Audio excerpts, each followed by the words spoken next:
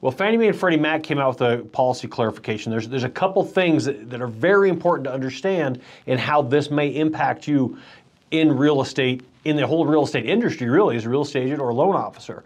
And again, this is just this morning that they released this. So uh, take a look at the links down below.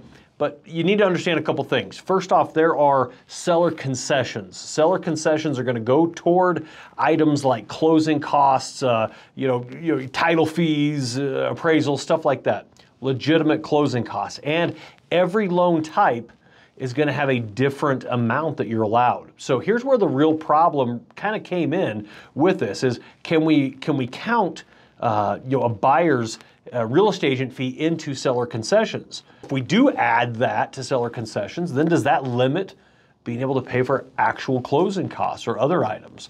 So most of the time, Fannie Mae is usually between two to nine percent is kind of the norm. Uh, well, not kind of the norm; it's exactly what it is, two to nine percent um, when it comes to closing costs, seller concessions.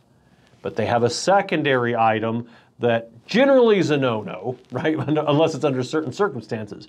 And it's called an IPC. That stands for Interested Party Contribution.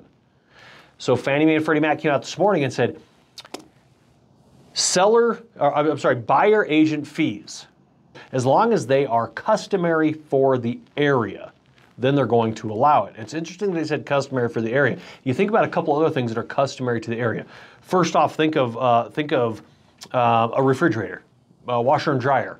Is it customary for the area? Because that's technically personal property, but if it's customary for the area, then we're going to count it and allow it to be on part of that contract. So, kind of the same thing here. If it's customary for the area, they're going to allow interested party contributions, which are going to be contributions from the seller to pay for the buyer's agency, or I'm sorry, for the buyer's agent. So that being said, is how is it going to exactly work? It's probably you know it's going to uh, we still have some details to work out, but the good news is is those IPCs will not be counted against normal seller concession limitations. So you're going to be able to do business kind of the same that you've been doing business. Now this is a clarification from Fannie Mae and Freddie Mac, and FHA did come out with a clarification as well. That leaves us with one. one agency that is still out there that has not said anything about it and is has so far been silent on the fact that they do not allow any agent fees. And that's going to be VA. But here's why that's interesting. The reason that they don't allow it, if you read the, the, the VA handbook, the reason they don't allow it is because they feel that it's customary for the seller to pay that fee. So now, with the change in verbiage or the change in how businesses has to be done, are they going to change their verbiage within their handbook to no longer say it's customary for the seller to pay it? Instead, it's the buyer's fee.